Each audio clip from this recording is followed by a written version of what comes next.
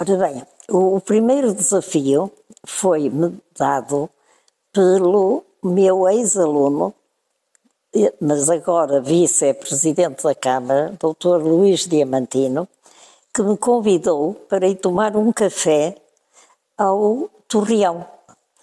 Eu estranhei o convite, mas claro que fiquei logo desconfiada. Eh, quando chegamos ao café, ele disse-me: Eu vou fazer-lhe um pedido, mas não admito um não.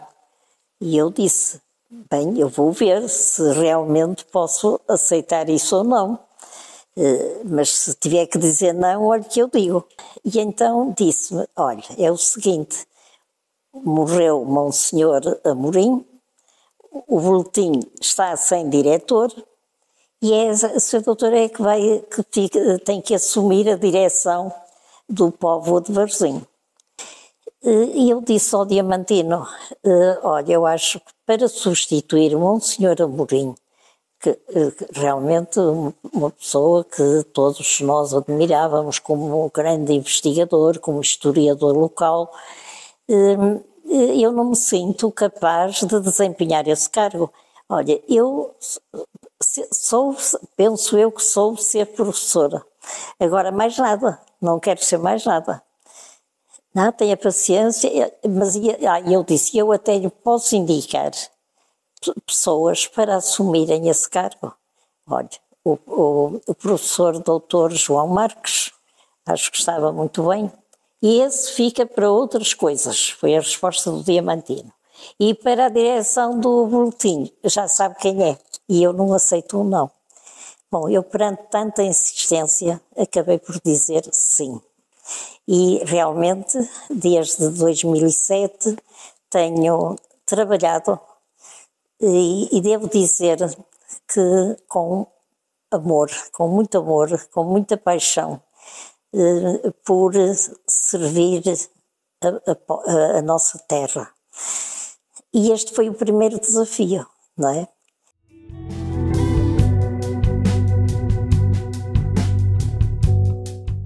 Estamos a entregar, a lançar o, um boletim.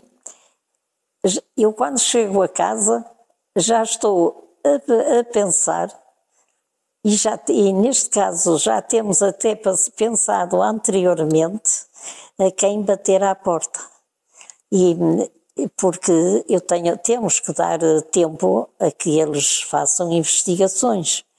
Hum, e, por exemplo, o Luís Filipe Calafate eh, eh, contacta o, Tom, o Tom, em Lisboa, eh, e é um bom, é um bom colaborador mesmo. E, e já neste momento os temas são todos entregues e já estamos quase a chegar ao limite da entrega dos trabalhos.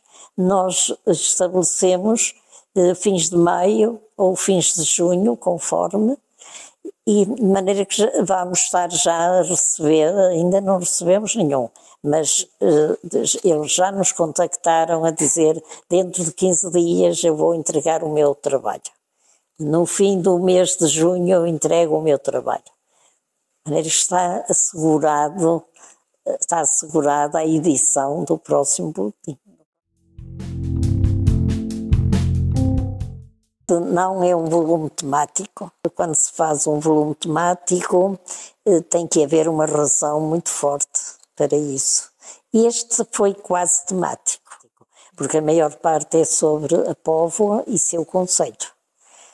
Tivemos, tínhamos já em mão eh, alguns artigos que tinham ficado por publicar do boletim anterior e, portanto, completamos o, o número com esses artigos. A vária de, de, de, deste último número é uma vária lutuosa, porque eh, tivemos o falecimento do, do presidente do MAPAD, do Aparício Quintas, e, e a esposa. A esposa já tinha falecido no ano anterior, mas quando recebemos a participação, o boletim já estava fechado e por isso teve que ficar para este ano e o falecimento do arquiteto Campos Matos, um grande colaborador queirusianista. Ele fez muitos trabalhos, temos publicados em vários boletins trabalhos dele. Faz-nos falta o arquiteto.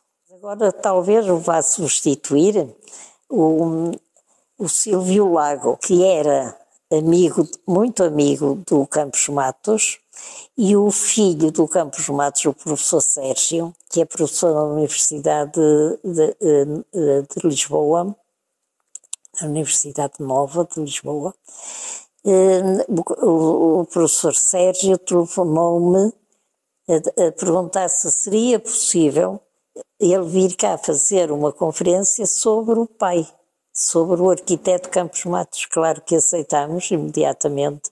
Ele veio já fazer essa conferência e, e depois disso acaba de vir aqui à Póvoa fazer um, houve um ciclo de conferências. Estas conferências dele irão para este próximo boletim.